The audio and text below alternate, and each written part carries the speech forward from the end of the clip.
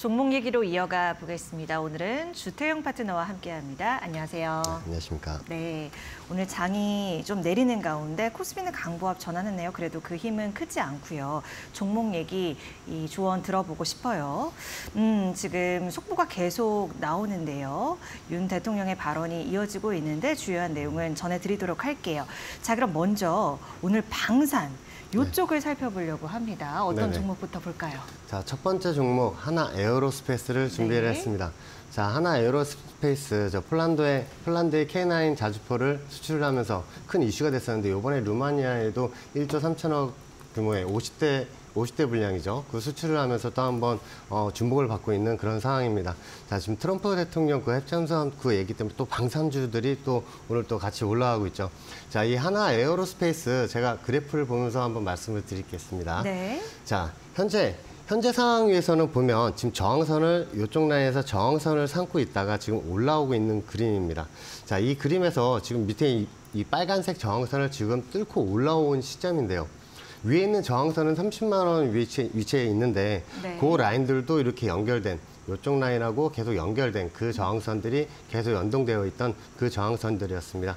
자, 이게 이 하나 에어로스페이스는 이런 저항선들을 뚫을 때마다 이렇게 크게 올라가는 그림을 보이는데요.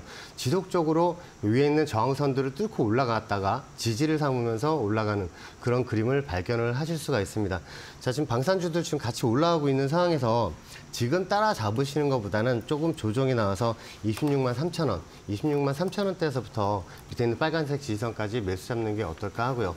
자, 이 종목 같은 경우에 지금 저항선을 뚫고 올라왔습니다. 계속 뚫지 못했어요. 이게 4월부터 뚫지 못했던 그 저항선인데 지금 뚫고 올라가서 안착을 한 모습입니다. 자 그렇다면 아, 좀 전에 제가 말씀드렸던 그 가격대를 한번 노려보시고 위에 있는 저항선이 30만 천 원대니까 그쪽 라인까지 홀딩, 저, 홀딩, 홀딩 전략 어떠실까 합니다. 네. 한화 에어로스페이스 먼저 살펴봤고요. 이쪽도 볼게요. LIG 넥스원이요. LIG 넥스원은 어떨까요? 자, LIG 넥선 저번에 그 어, 앵커님과 같이 그 맞아요. 얘기를 그때 했었죠. 제가 LIG 넥선 그 매수점도 말씀을 드리면서 이쪽 라인에서 한번 매수 잡아봐도 되겠다라고 말씀을 드렸던 LIG 넥선입니다. 자, LIG 넥선 위에 있는 이 연두색 저항선을 처음에 찍고 나서 조정이 나왔었죠. 이 저항선을 찍고 조정이 나올 때 밑에 있는 이 연두색 아, 빨간색 지지선을 제가 매수점으로 다시 한번 말씀을 드렸었는데요. 그 라인을 딱 찍고 다시 올라와서 어제 기준 고점 기준으로 25%까지 올라가는 그런 상황이었습니다. 자, 오늘 같은 경우에도 지금 뚫고 올라간 상황이죠. 자, 지금 보시면 오늘 그래프를 보시면 위에 있는 저항선을 살짝 뚫었습니다.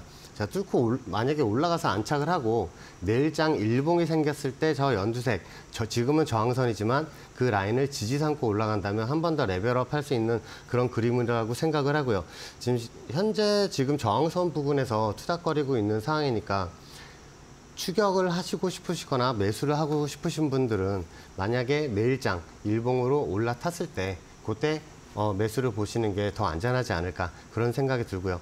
여기서 조정이 나온다면 밑에 있는 그 빨간색 지선까지 다시 갈 수가 있으니까 내일 올라타는 걸 확인을 하시고 대응을 하시는 게 훨씬 더 계좌가 풍성해지지 않을까 그렇게 생각을 합니다.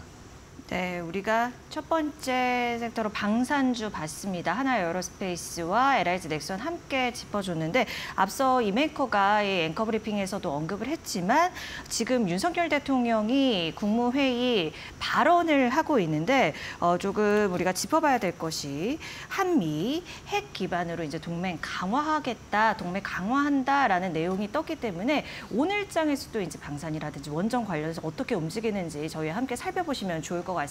방산주로 좋은 말씀 주셨고요. 이어서 어제 이어서 우크라이나 재건주가 계속적으로 주목을 받고 있습니다. 우리가 첫 번째로 HD 현대건설기계 이쪽 살펴보겠습니다. 네, 이게 HD 현대 건설 기- 기계가 아주 지금 중요한 네. 위치에 와 있습니다. 자, 어떤 중요한 위치에 와 있냐면 현재는 지금 저항선을 뚫은 위치, 뚫은 아 저항선을 찍은 상황인데 이 라인을 뚫기만 하면 위에 있는 저항대가 거의 없는 상황이거든요. 그래서 요 라인들을 이 저항선 오늘 보여드린 이 저항선을 뚫으면 여러분들 좀 매수 관점으로 보시고 내일 어 한번 일봉이 생겼을 때 지지를 하는지 한번 확인을 하시고 대응을 하시는 게 좋겠습니다. 자, 그래프 보시면서 한번 또 말씀을 드릴게요. 네. 자, 이 상황이 어떤 상황이었냐면 요 라인들하고 이 고점하고 고점하고 이어온 이 삼각수렴 구간 밑에 있는 이 삼각수렴 구간이 어디로 말씀드리냐면 지금 동그라미 친 부분 이 지지선과 위에 있는 저항선 요 라인들이 이렇게 삼각수렴 구간이었어요. 근데 이 삼각수렴 구간을 뚫고 올라가면서 여- 위에 있는 그 저항선을 바로 뚫지 못하고 내려온 상황이 되었거든요. 자, 그 저항선이 요 표시된 요 동그라미 이 표시입니다. 여기에 있는 고점하고 고점을 그대로 이어, 이어보면 오늘자 고점하고 딱 맞는 그 저항선이 되죠. 이 저항선을 지금 찍고 조정이 예. 나오고 있는 상태인데 네. 자, 좀 더 확대를 해서 여러분들 보여드리겠습니다. 네. 자, 지금 확대해서 보면 지금 저항선을 지금 딱 찍고 내려오는 게 보이시죠? 자, 그렇다면 만약에 이 저항선을 뚫고 올라가면 어디까지 또 올라갈 수 있는가가 또 궁금한 핵심 포인트가 아닐까 합니다. 저 자, 고- 파란색 선까지는 아니죠. 아, 예, 거기까지는 아니고요. 너무 높죠. 네, 지금 하나를 설정을 해드리면 아. 위에 있는 저항선이 73,700원대 라인입니다. 이 연두색 저항선 73,700원대 저항선이니까 자 전략은 이렇습니다. 내일 일봉이 생겼는데 이 저항선 위에서 생겼을 경우에 그 라인을 저 지금 오늘 고점 저항이죠.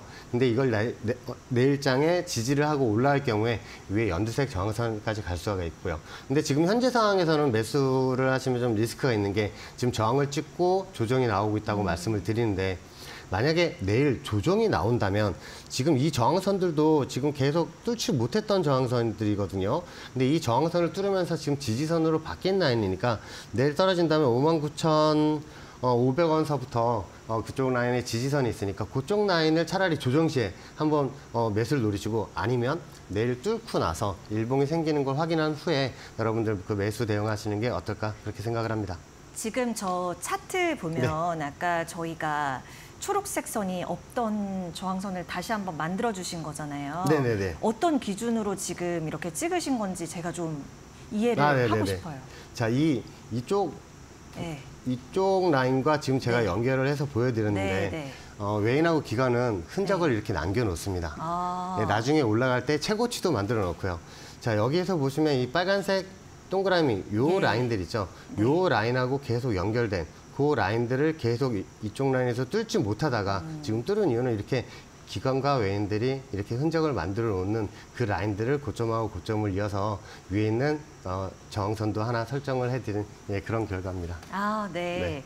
왜냐하면 우리 주 파트너께서 이야기를 하는 저 저항선 라인이 굉장히 중요한 가격대로 작용을 하기 때문에 아, 네, 맞습니다. 그 근거와 기준이 궁금해서 시청자분들의 이해를 돕기 위해서 제가 다시 한번 질문을 드렸습니다. 네. 자, 우크라이나 재건주 하나 더 보도록 할게요.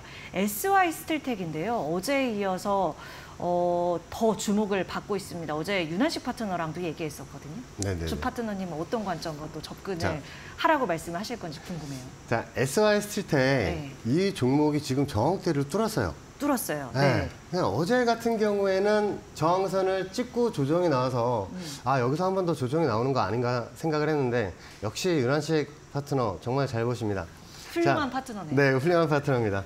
자, 지금 보시면 오늘자 일봉을 보시면 지금 연두색 저항선을 뚫은 게 보이시죠? 네. 자, 이걸 조금 더 확대를 해서 제가 한번 보여드리겠습니다.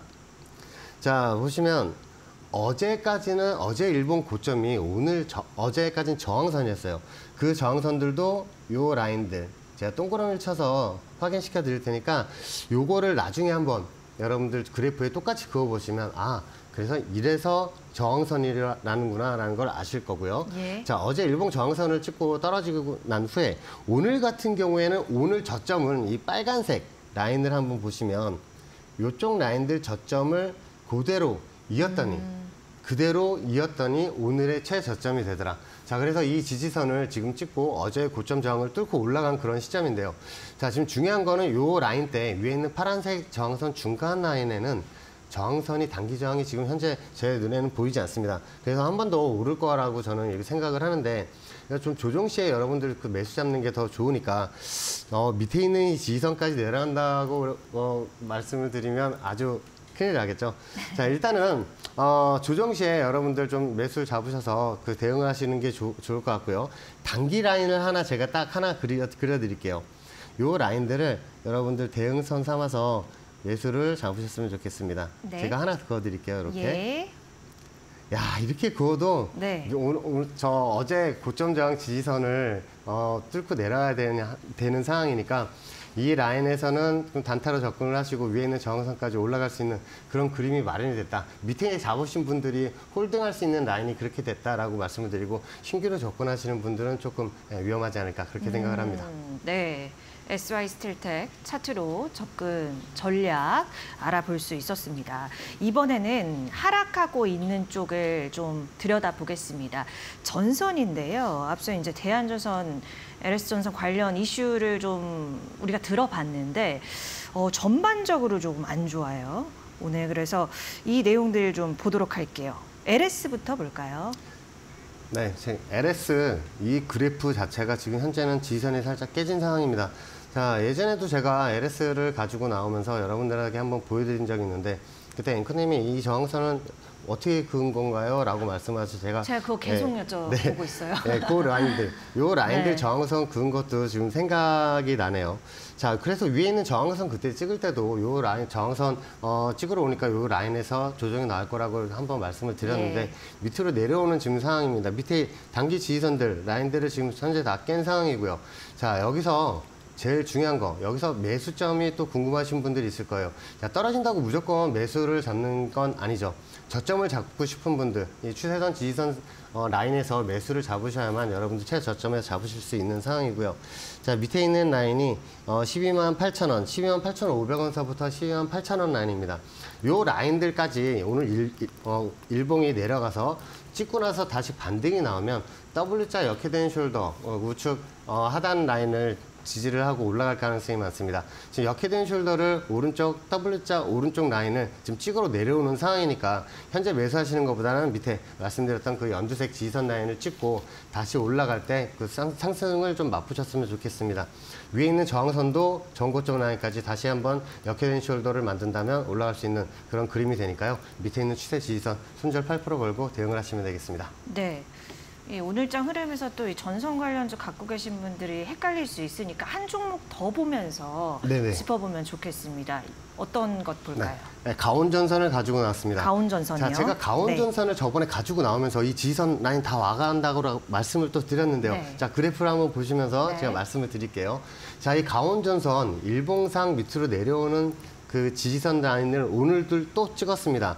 자, 제가 저번에 말씀드렸을 때는 5만 600원서부터 매수를 하시라고 말씀을 드렸는데 오늘 일봉상 지금 밑에 일봉 밑에 있는 이 파란색 지지선 보이시죠?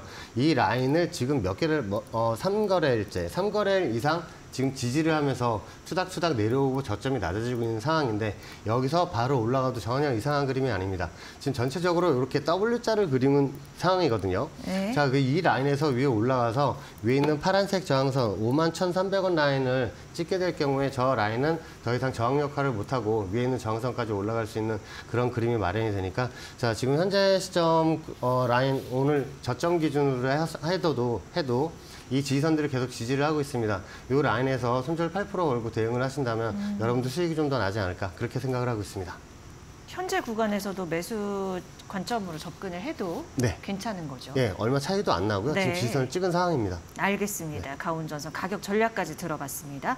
자 그러면 오늘 장에서 조금 더 이 지지부진한 흐름을 잘 견딜 네. 수 있는 종목 얘기를 들어보려고요. 이- 네. 오늘은 어느 쪽 바라봐야 돼요? 자, 오늘은 어, 저출산 관련주 저출산이요. 오늘요. 네. 왜요? 어, 제로투 세븐을 가지고 나왔는데 네. 이 지지선 라인을 너무너무 이쁘게 찍고 있고요. 어. 그전 과거의 그림도 한번 제가 보여드리면서 요걸 한번 보여드리고 싶습니다. 네. 자, 저출산 관련주 제로투 세븐을 가지고 나왔는데요.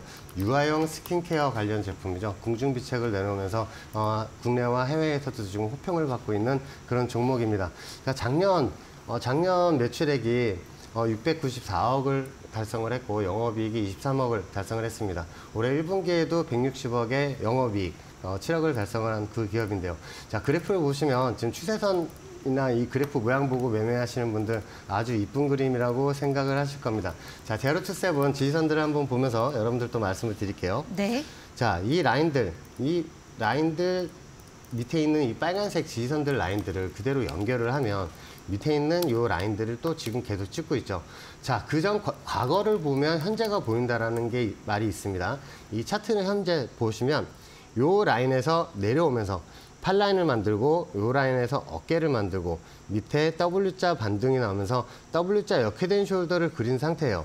자, W자 역행 숄더를 이 정선까지 만들고 나서 요 라인을 고점 삼아서 head and shoulder를 그리고 내려온 상황입니다. 자, 역헤드앤숄더, 헤드앤숄더 그리고 나서 제일 많이 그리는 게 또 역헤드앤숄더죠. 헤드앤숄더 다음엔 역헤드앤숄더를 제일 많이 그리는데 현재 지금 W자 우측 하단에 와 있습니다. 자, 요 라인들 밑에 있는 이 지지선들을 한번 찍고 나서 과거에도 보시면 두 번을 찍고 W자 반등이 나온 그림인데 현재 시점에서도 이 저항선을 찍고 내려오면서 W자 우측 하단을 그리고 있는 그런 상황입니다. 자, 그래서 여기서 W자로 올라갈 경우에 전체적인 그림으로 보시면 이런 식으로 W 두- 크게 크게 W자로 보시면 여러분들 어, 무리가 없으실 것 같고요. W자 반등이 일어난다면 위에 있는 7,000원 구간 저항선을 뚫고 위에 있는 7,900원대 연두색 저항선까지 뚫고 올라갈 가능성이 아주 크기 때문에 여러분들 어, 이 라인에서 손절 8% 걸고 대응을 하시면 되는데 매수 가격은 5,200원서부터 5,100원까지 여러분들 매수를 잡으시고 손절 8% 걸고 대응을 하시면 되겠습니다. 네. 자, 오늘 장에서 왜 주태영 파트너가 이 저출산 관련주를 갖고 왔을까? 그런데 답은 차트가 너무 예쁘다였습니다.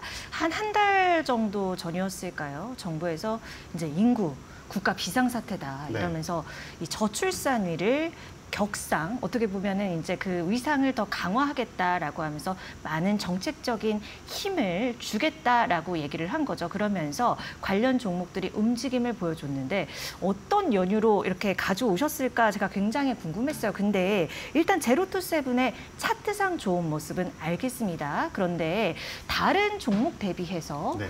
또 더 예쁜 이유. 아, 다른 종목은 그러면 아, 별로인가? 아, 다른 다른 종목군도 아니고요? 궁금해 하실 수도 네네네. 있잖아요. 그래서 뭐 예를 들어서 뭐 삼성 출판사라든지 아, 모나리자라든지 이렇게 엮이는 종목군들 아, 예, 있죠. 예. 그런 종목들 차트랑 좀 비교해 볼 수 있어요? 아, 그 차트를 한번 네. 보여드리겠습니다. 일단 제로투 한 세븐 종목 정도만 볼게요. 음, 음, 네. 삼성 출판사 한번 볼까요? 아, 삼성춘팔사 볼까요? 이것도 이제 저출산 관련주로 많이 궁금해하시는 그러한 종목이잖아요. 네네네. 한번 볼게요. 지금 볼 수 있을까요? 네, 삼성출판사도 제가 그래프를 가지고 나왔습니다. 네. 자, 그래프를 보시다시피 아까 그래프하고 또 많이 틀리죠. 자, 제가 이슈 종목으로 나오는 그런 종목들은 뉴스에 나오면서 개미들이 관심이 많기 때문에 많이 올라가고 있는 종목은 추격해서 매수하지 않기 때문에 지금 저점에 나와 있는 그런 종목들 위주로 지금 매수를 드리고 있는 그런 상황이고요. 자, 지금 보시면 밑에 삼성 출판사도 요 라인들, 이 삼각 수렴 구간을 뚫고 올라가면서 거래량이 이렇게 실리고 있죠. 거래량이 실리고 나서 올라온 상황인데 위에 있는 저항선을 요 라인들을 제가 지금 긋진 않았어요. 지금 어, 그 얘기를 해주셔서 일단 살짝 이렇게 그어놓겠습니다. 네. 자, 요, 여기에서 이렇게 거래량이 뚫고 올라가면서 지금 요, 이 위에 있는 저항에서 내려온 상황인데 내려와서 지금 마찬가지 지금 현재 W자 상황으로 올라가고 있어요. 어떤 그림이냐? 위 라인에서 올라오면서 W자 반등을 모색하고 있는 그런 그림이 되어 있고요. 단기 저항선 같은 경우에 여러분들 쉽게 이렇게 그으셔서 위에 있는 요 파란, 위에 있는 연두색 저항선을 뚫고 올라가면 윗정선까지 올라갈 수 있겠다. 그런 식으로 대응을 하시면 좋겠고요. 하나를 더 그어서 여러분들 말씀을 드리면 이렇게 그어보면 어때요? 요 밑에 있는 이 저점 라인들 보이시죠? 요 저점 라인들과 저점 라인들이 계속 연동이 되는 그 라인들을 이었더니 이쪽에 있는 연두색 저항, 이쪽이 1차 저항이 되더라. 자, 그렇다면 이 라인을 뚫고 올라간다면 위에 있는 저항선까지 충분히 올라갈 수 있는 상황이 되면서 여러분들이 한 번 더 추세선을 그어서 가령 이런 식으로 이런 식으로 추세선을 긋는다면 이쪽에 있는 저점 라인들 보시다시피 이쪽에서 계속 저점으로 활용이 됐던 그리고 여기선 고점으로 이용이 됐던 이쪽 라인들을 저항선을 목표점 삼아서 여러분들 대응하시면 조금 더 여러분들 계좌에 도움이 되지 않을까 그렇게 생각을 합니다. 네. 혼동되실까봐 오늘 주태영 파트너가 가져왔던 종목은 제로투 세븐이었습니다. 이제 삼성출판사는 제가 이제 같이 엮이는 종목이기 때문에 비교해 보기 위해서 한번 도움 요청을 드렸던 겁니다. 네, 오늘 도움 말씀 주태영 파트너가 주셨습니다. 오늘 말씀 고맙습니다. 네, 감사합니다.